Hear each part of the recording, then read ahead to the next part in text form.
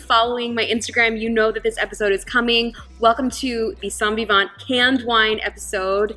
Please welcome my two friends. Introduce yourselves. Gina Schober. And Jake Stover. I've known you for a little while, and I didn't know you had this like side project going on, but I was so excited to see these first in the grocery store, and then I'm going to learn that you guys were the team behind it. I was even more excited. So, um, I guess the first question, because I, as much as I am intrigued by new things, um, I know nothing about canned wine. I don't know where it came from, how it's different, what we can expect as a consumer. So, I figured I'd invite you guys to come and help me sort of break down any sort of misnomers, any sort of questions that people might have, questions that you guys get asked all the time. Um, so I think the first question is why canned wine? Well, I mean, we started the brand about a little over two years ago, 2016 being our first vintage, and we really thought of it as we were driving back from the Sonoma Coast one weekend and we were passing the Russian River and at the time the river was pretty low but I was thinking of all my friends and family who are not beer drinkers and who really enjoy wine and they don't know to pack, you know, corkscrews, glassware, and so thinking of a more accessible way to be able to drink wine and either go boating or skiing, golfing. So it's kind of where the idea started from. And yeah, I originally thought she was crazy, um, but by the end of that drive back, actually, she had me convinced. And a lot of it for us is we typically drink uh, lower alcohol wines that don't have a lot of oak influence. And for us, it seemed a natural fit to do stainless steel fermentations and then deliver it in a really convenient package that is the aluminum can.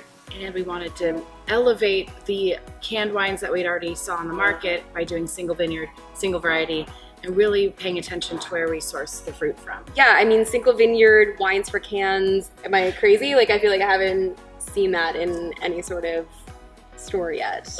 I think there is one or two other producers that are doing that. Yeah. We may be the only crazy people doing six. Yeah, going to that extreme. You're doing so. All six of these are single vineyards, single variety, yep, organically farmed, naturally made.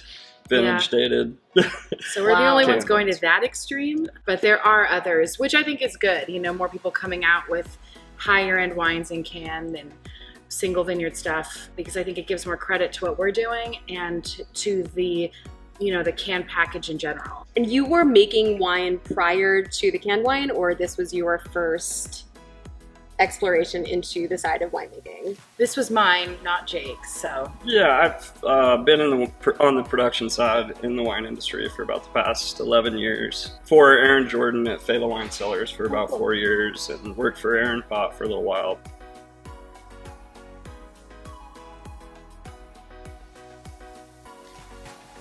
What makes a canned wine different than a wine that's coming in a bottle? There's little details that you wouldn't generally expect. One of which is so if you purchase glass bottles, they come pre-packed in the box that you typically end up shipping the wine in or you know packaging the bottles in.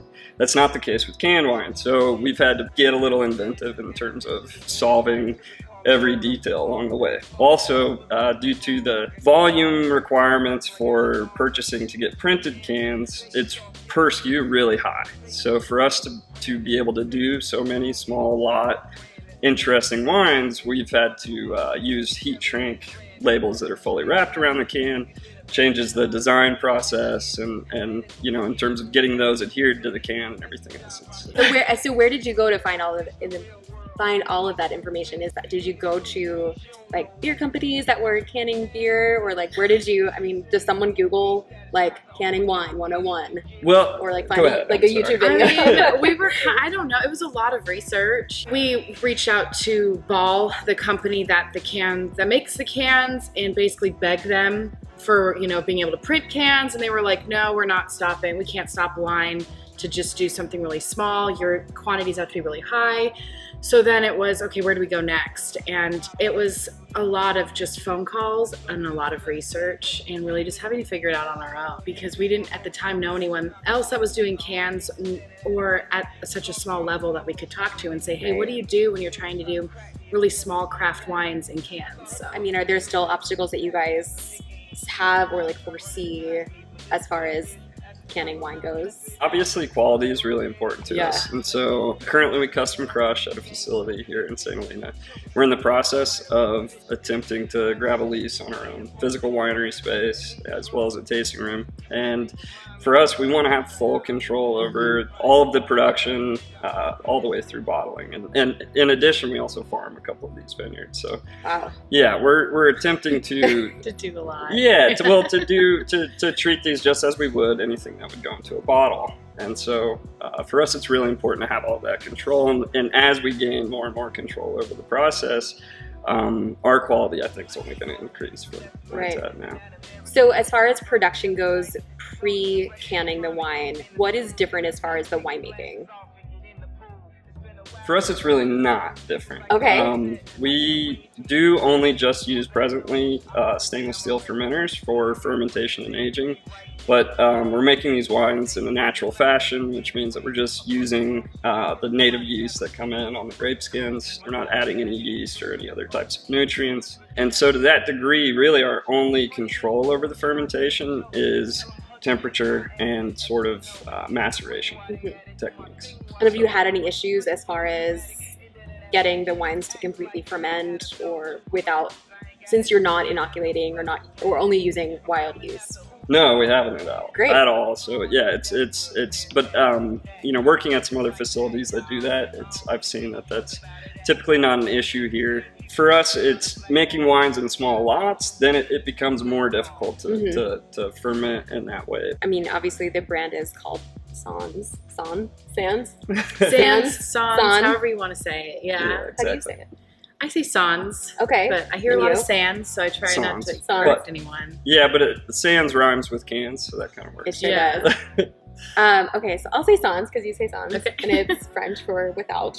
Um, so the name obviously comes from without additives, chemicals, preservatives, and that was important to you guys for any particular reason, or just because that's Jake's really the one that came up with the name. We were trying to think of what to name our brand, and we already had the idea that we wanted to do single vineyard, single varietal, make the wines naturally, not add any, you know, chemicals um, into the winemaking process. And so I think naturally that's probably just where it came from when it popped into your mind.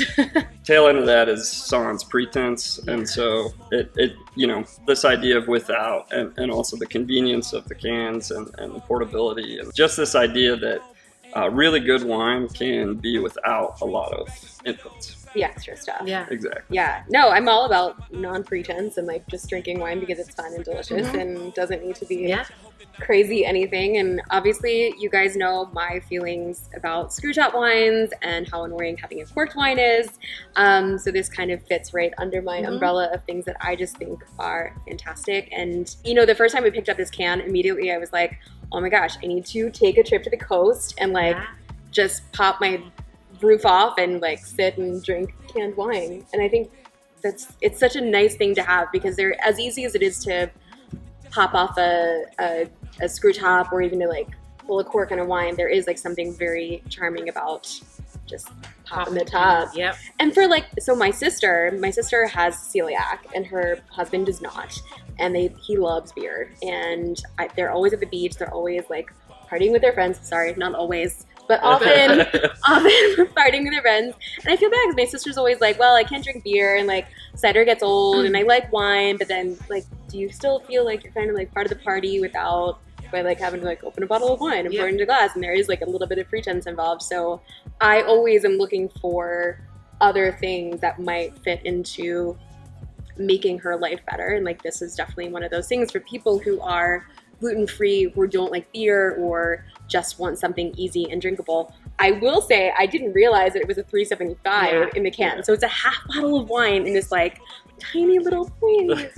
I didn't realize how much wine was in here, which is great. I mean, it's something to consider. Um, these wines aren't terribly high alcohol. I think most of them are what, like 12 ish percent? Yeah, 12 and a half, uh, 13, and then um, the reds are 14. Yeah. But yeah, lower-ish. Moderate. for- Yeah. I mean, high if it's a beer. So, Yes. so like, be careful. If you have a, Exactly. ha- yeah, full can. That I and you know, speaking about what has been the biggest hurdle, at least on my end, is getting people to realize that that is a half bottle of wine. Yes. and it's two healthy glasses. Yeah. Um, because no one sees a can and thinks immediately a half bottle. No, I 100% did not realize how much wine it was until I went. I actually poured it into a decanter and I was like, holy crap, that's a lot of wine. Yeah. I didn't realize how much wine was in there. So there's also this like pricing thing that's involved when you're looking at a can of wine and you're like, ooh, that's $15 or it's $25 for a can. Forgetting that it's a full half bottle of Mhm. wine and how much, I mean, two two healthy glasses, like you said, probably closer Yeah. to like three. Yep. Um, and how you pour it. so I think we should probably get into the wine. Obviously, they make six different single vineyard, single varietal can- wines, canned or not wines, which is impressive. Like on its own. When I was reintroduced to you guys again a couple weeks ago at the pink party, um, I think the first thing that caught my eye was the Riesling because Riesling just like screams ease and like summer and fresh and like obviously it should be in a can. Why not? Yep. Um, Yeah. So I think we should pop the Riesling first. And this is coming from a vineyard in Rutherford, so Yeah, it's um, right here in Napa Valley. Exactly. It's the McGill Vineyard uh, on Manley Lane in Rutherford, and um, it was planted. It's uh, the vines are around 60 years old. It's organically farmed, but in the way that uh, it's actually no spray whatsoever. So zero pesticides or herbicides, either organic or not. We're currently uh, leasing this vineyard and, and doing the work ourselves. So Wow. Yeah. How has that been? it's good. I actually I actually own a vineyard management business as Okay. well. Oh, so, great. That's how it's, it's a little easier. Yeah. you like kind of know what's up. Yeah, that's Okay. yeah. Awesome. well, all right. Cheers. Yes. You can definitely drink this out of the can, but we're sharing, so we'll. Did you notice how I like didn't even like sniff it? I just like went in. Went straight in. Yeah. That's great. Mm. It's so bright. There's like that great Riesling acidity, and then it's just finishes completely dry. But you still get that stone fruit, that like apricot, peach, just like really pretty, aromatically intense wine. I love this. This is like this is destined to be in a can and just consumed outside for Mhm. days like today. It's funny you mentioned my sister um, is gluten intolerant as Mhm. well, and this is her favorite wine. Oh, really? It's the Riesling is she just can't stop with it. She just wants it all the time. so delicious. Yeah. I love this. Do you guys have favorites of your lineup? Is, this, is there one you gravitate towards more? For me, it depends. I personally, I love the Zinfandel. We serve that chilled, and originally I wanted a red that you could throw in the cooler with Mhm. the white and rosé and drink on a hot day wherever you were at, and not feel like bogged down, like you know, stained teeth and God give me water because I've had a big wine or Yeah. a big red. So that has been one of my favorites to drink in really hot weather outside. I think in 2016 we were agreed on that. In 17 we did a carbonic Carignan. We got married this past December, and so for Gina's wedding present, I built a bar, and we were able to pour the same vintage, the carbonic, on tap at the wedding. Yeah. You So- built her a bar as your Yeah. what? With a bunch of old wine, wood wine boxes. That's all the, the top of it. It's really pretty. So we have it on our house. We have wine on tap. So which is Wow. dangerous. yeah, you have a bar with like a permanent wine tap. yeah. It's the greatest thing I've ever heard. So you, these are built to have like a slight chill on them. Yes, that's Yeah. originally. And I mean, when we the first time we canned our 16s, it wasn't really the intention, but I think we kind of found it by accident because at the end of the night, the Zinfandel was what we canned for was what we canned last, and it came off the line so cold. And I just remember popping open a can and being like, "This is so much better chilled than Mhm. not." And so that's really when I started taking it out and showing it to buyers and accounts. I would show it chilled and say, you know, this is how we recommend, you know, you show it or sell it. You know, not everyone will be into that. And you mm-hmm. might have to kind of prep some people that it's a red that isn't going to be room temperature, but I love reds with a chill. I think reds are often served too warm. I don't think that I'm alone in that feeling. And when I first tried these, I felt like they all could really benefit from a little bit of a chill. They just, mm-hmm. and it was also something like and I don't know if it's just like a learned thing, but drinking from a can, it should be served with like a slight chill coming out of a can. Like Yep. it just kind of feels right. Yeah. But getting back to the Riesling, do you guys have any issues with people thinking the Riesling will be sweet? Because it's not. It's completely. Dry. I mean, it tastes Yeah. bone dry to me. Yeah, I think there's still um, a fair number of people that when you tell them you have a Riesling, Yeah. um, sweet. they kind of pass on to something else immediately in their Yeah. head, thinking that it's sweet. And then when we when you tag it with you know this is a dry Riesling, Right. they're interested to try it and usually Yeah. pretty happy about it. It's true. I mean, I think the stigma is starting to sort of dissolve, but Mhm. there is still a hefty amount of people out there that think that all Riesling is created equal, which it's not, um, and that all Riesling is sweet, which it's not. And this is definitely a great example of not only Riesling, but California Riesling and a dry Riesling. Um, and for those of you who love German Riesling and love really old school Rieslings, this is a great example of a mineral driven, high acid, really bright, aromatic Riesling. This is a very classic and varietally correct Riesling that does extraordinarily well in a can. Oh, this is a pretty exciting little spot. It's great that now we can farm it and hope that we can continue making it for a while because you know there's as you know there's bit, not much Riesling left in Napa. That is true. It's uh, used to Yeah. be widely planted and now it's all been ripped out for cab or other Right. varietals that are you know king here in Napa. But yeah, it's cool that we found this and we just hope we can be making wine from it for quite a while. Yeah. Yeah. Is anybody else making wine from that vineyard? No, just us, but uh, Rory Williams. Oh yeah, um, Calder. Yeah, he's just up the road. His Riesling Oh, vineyard. yeah, so okay. It's kind of funny. yeah, two Okay. Riesling vineyards in Rutherford on the same road. That's Awesome. a surprise, but Yeah. but cool. Another great example of the California Riesling. Yeah, exactly. Yeah, if you um, checked out my Instagram a few weeks ago, I talked about Rory's wines.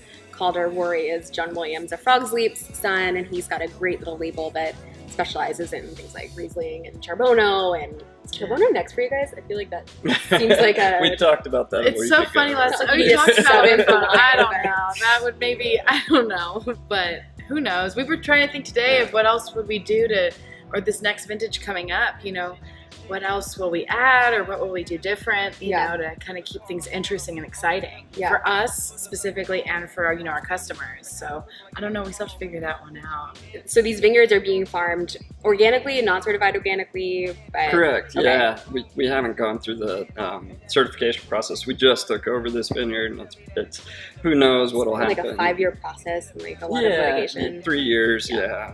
But the Poor Ranch is certified organic. Oh, is it? Mendocino. Oh, yeah. cool. That's where we do our rosé from our, car- our carbonic Carignan and Zinfandel. So Great.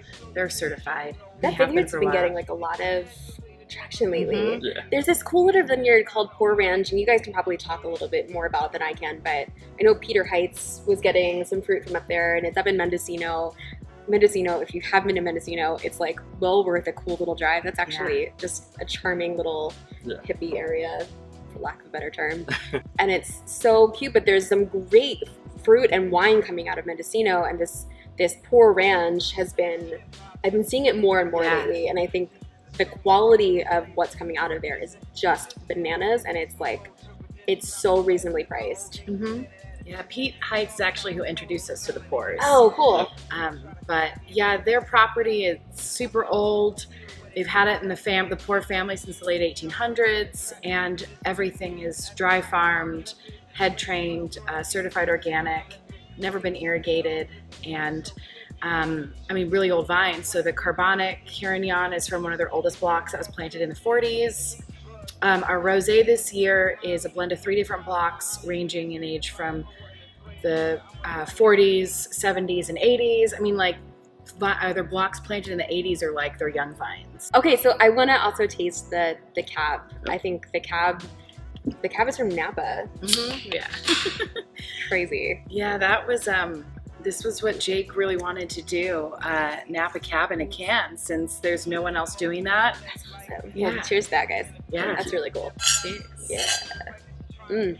Well, it smells like Cabernet, and I suppose that's a good thing. Yeah, that's right. There's such great fruit, but it also like has a really pretty violet nose to it. Yeah, so this comes from a small vineyard up Soda Canyon Road. Mm-hmm. It's about 30 year old vines. I actually got a phone call to harvest this vineyard for someone last year, and they didn't have a buyer for the fruit yet, but they were trying to line up someone. And the event that they got a buyer, and so we were able to work out a deal, and now we're farming this Yeah, as well. wow. It was like it was like the beginning of September, and Jake was like, "We're gonna make cab this year," and I'm like, "I don't think it's time. I think we need to wait a little bit. I mean, we're doing all these other wines." He's like, "No, we're going to. Like, Exactly. we've got the fruit. Um, we're I'm picking it in like ten days," and I was like, "Okay, I guess we're doing that now." So this was September of 2017. yeah, Correct. so we, we Okay. picked it mid September. yeah, But Okay. it was like two weeks before that when you came home and you said that we Yeah. had a we, we I were might have known it. about. I might Yeah. have known about it a little longer. Or he was waiting to kind of break that one to me.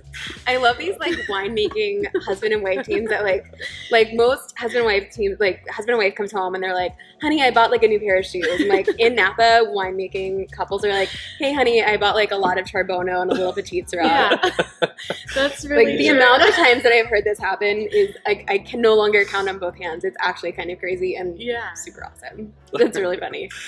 Yeah. So obviously that was pre-fire. You guys didn't have any issues Yeah, we with anything fire related in 2017. No, we were really fortunate. Um, and another kind of crazy coincidence: there was a fire in the field behind this house, like um, two weeks before the fires, and didn't affect the fruit at all. We were able to harvest and get everything out, and, and the fire department put that fire out. hmm And so when the large fires came through, uh, this vineyard was spared, and a lot of the uh, surrounding acreage and houses were burned to the ground. Wow. So it's still everything's fine. We lost one row of vines, I think, but that's been replanted. Wow. Obviously, I talk a lot about fruit and then quality of the fruit when you're tasting wine. And this to me smells very like right on the money ripe, not overripe and not underripe. And I think a lot of that has to do with when you guys harvested. So, whereas a lot of times Napa cabs can be stereotyped into like big, bombastic, a little bit more over the top, super ripe fruit, this presents more to me in a very just evenly ripe, just kind of plucked off the off the bush or off the tree.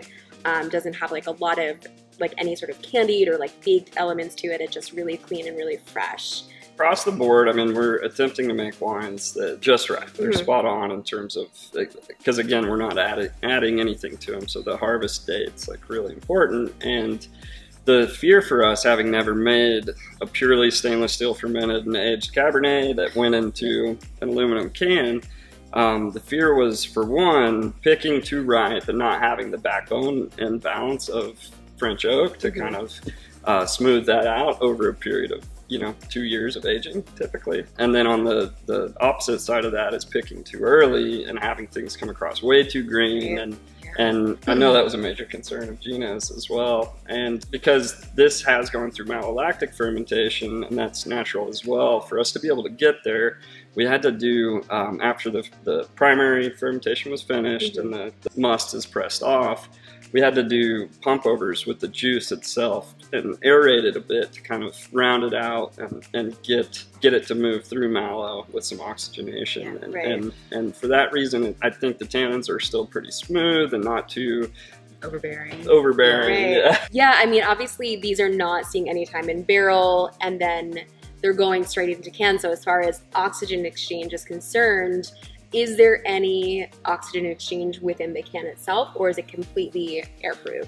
Yeah, it- Airproof. It's air, Yeah. it's totally sealed, and along with that, so in the filling process, um, all of the cans are sparged with nitrogen gas, um, and most bottled wine is as well. And then it moves from there to uh, four-head fillers, what we've used recently in the past. That um, the, the this entire lid is pressed onto the aluminum can itself, so that's a pretty wide mouth opening. So right after they're filled, they're all dosed with liquid nitrogen and it's the sort of off gassing of that liquid nitrogen. The lid's pressed on immediately that allows you to get the uh, pressure on the can walls, Mhm. and it creates an incredibly stable environment. And so, for that reason, about half of these wines have no sulfur added whatsoever as well. Some of them to kind of uh, retain acidity. There's what would be considered minimal amounts of sulfur, so less than 35 parts per million total still, I think, internationally would be considered natural wine. And it's an incredibly stable environment. There's no UV penetration like there Right. would be through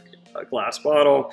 The sulfur question, obviously, it's an incredibly widely debated issue. Yeah, Yeah. for sure. Um, I am not anti-sulfur. I think Never sulfur been, is yeah. is a good thing, and like like all things, should be everything in moderation. Very interesting about the liquid nitrogen. I didn't know that's how this was happening.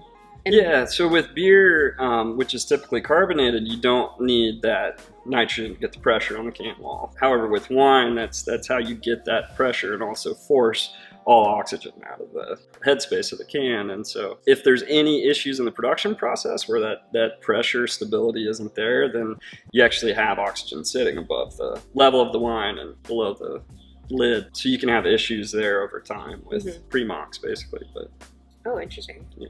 As far as storage of these goes, same principles apply. Like keep it away from heat, keep it away from light. think I guess light yeah. doesn't matter. Yeah, so, light's so not much, as big of an issue. It's more uh, huge temperature fluctuation, but it's actually a better insulator than glass as well. So we use fully enclosed case boxes. Gina wanted to wrap the Cabernets in tissue paper. Stop it. Yeah, we did. We did. uh, we were Oh, kind of thinking about, well, we're you know we're going to charge twenty five dollars a can. Oh my gosh. it's equivalent of a fifty dollar Napa cab. So we really got to jazz this up. And we talked about like wrapping it and all this, and we never got around to it. But I don't know. Maybe maybe next time.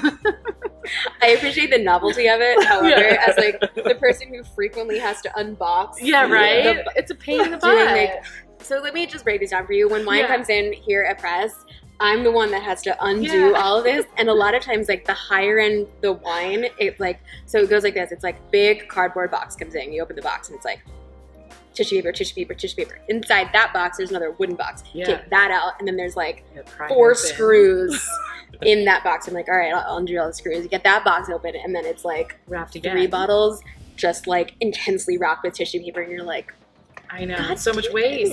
yeah. It's a lot of waste So too. yeah, it is a lot of. It's a ton of waste, and it drives me bananas. And um, I drive. I Yeah. anyway. Thank you for not tissue paper. Yeah, you know, you're welcome. I, ha- I clearly have like some pent up aggression It's about okay. this, but I think it's cute that you thought to do that. You were trying mean- to throw it around, but then with Yeah. the box, so that's where we came up with those boxes instead. And I really, So I really like these boxes. at least you can, you know, take them and you know carry them somewhere, Totally. or re- you can even reuse it if you wanted to. what a great housewarming or like Yeah. Um, actually, this is a great housewarming because you don't need a wine theory thing. Yep. For people that are like just moving in or like if you're going to a dinner party or something, these are Yeah. what a fun thing to bring. a lot of my friends who are new moms love the cans because life has gotten more difficult and they can just pop open a can That's in right. the middle of their crazy day That's or right. whenever. Mommy's gotta so- have her can. Yeah. I love it. Anything you'd like to add? Any misnomers that you, you just like need to get it off your chest? I don't know. I think I did earlier with the cans. You know, like they're a half bottle. People question like, "Oh, it's kind of expensive compared to what else is out there," but reminding people that these are half bottles and that you know we're taking it a little bit, you know, one step further. Right. So you'll even just even just having the vintage date on the cans Totally. is you know more than what you'll find out there. And there's nothing wrong with the other canned wines. They every I think most wines all have a place totally. a time and a place and um, a purpose. And so, you know, we're just trying to find a different one, I Yeah. guess you could say. Yeah. How long will these keep for? We don't know. I don't, it's kind of, I mean, we'll have a library, I library cans. Yeah, no, know. we'll hold some back, and and um, you know, it what it what it really comes down to is with aluminum cans of any kind. So uh, the tomato canned tomatoes you have in your cupboard um, is the corrosivity of the product that's inside of the can. Um, and for one, because we're actually not adding any chemicals, that really helps uh, in terms of shelf life. But uh, the other aspect is wine's way less corrosive than, say, Coca Cola. So um, no one has a definite answer for that, and I've heard uh, that UC Davis has done some uh, some experiments that uh, they think it should, in terms of aging, um, age slower than in bottled wine, but that that's due to the environment. So Yeah, We'll see. We'll see. Yeah, we've noticed so far that the 16s, I think they all pretty much have tasted the same as they did, you know, when we first canned them about a year ago. The Zinfandel, I think, is, if anything, been more expressive. Mhm. and aromatic, which I think is great. But the rosé Sauvignon Blanc to me tastes the same as they did, you know, last year. Cool. Yeah. Well, I guess we'll keep tabs on Yeah. what's going on with Sans. Mm-hmm. And until then, Cheers, guys. Cheers. Thank, Thank you you. so much. Thank you. This was Cheers. so Yeah. fun. Appreciate Guys, it. drink canned wine. It's awesome. And uh, check these guys out. You are at Sans Wine Co. Yes. on Instagram. So the link um, and the link to their website will be below where you can purchase all of their wines directly from the website. It's also available in some retail places around, definitely around Napa. I Yep. don't, Yeah, In a lot in Napa, Napa, San San Francisco. Francisco, and we've got that all listed. And yeah, you guys can find all of that on the website. Please, please, please leave some comments below with questions, um, thoughts on canned wine, and uh, I will see you guys all very soon. Please be sure to like this video and subscribe to it. And thank you again so much for watching. I will see you all next time. Cheers. cheers.